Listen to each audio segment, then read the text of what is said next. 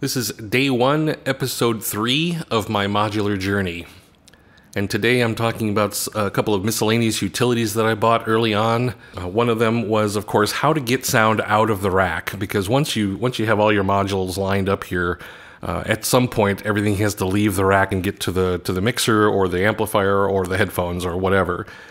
So the seemingly obvious choice to start with was a relatively inexpensive uh, little device called the Intellijel Outs.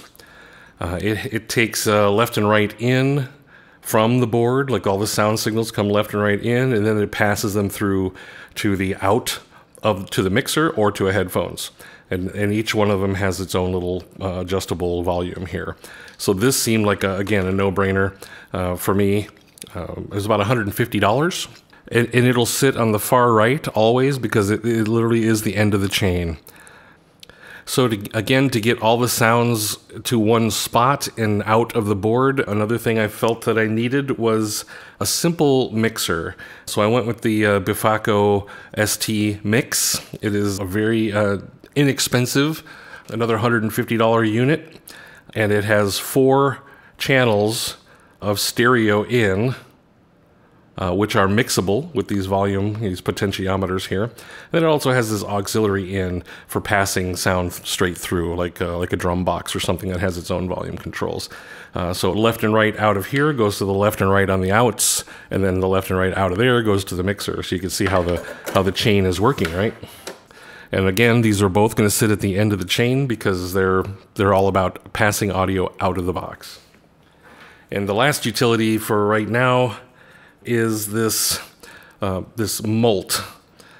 So I didn't know what these were to begin with, and so I was started buying stack cables a lot to split my signals, and then I learned about buffered mults, and uh, that kind of changed that dynamic a little bit. So basically, what a mult is is, is a signal splitter. So you have a like an input jack for something coming in, and then you can split it three times. So you can use the one signal three different times. Or in this particular mult's case, you could plug one thing in here and get nine, uh, nine outputs. Uh, or it has these three sections, so you could split up to three things three ways. So the mult uh, came along be- again because I don't want to use stack cables everywhere, and it, it's become pretty handy in a lot of the patches I've been putting together. But I'll, I can see where I'm probably going to need a few more of these by the time I reach my ultimate goal. Uh, because splitting signals is actually really handy. So that is it for episode three general utilities. The next episode is where things start getting a little exciting because it's one of my favorite modules so far. Uh, called Pamela's New Workout. It's a it's a clock source and a whole lot more. So stay tuned.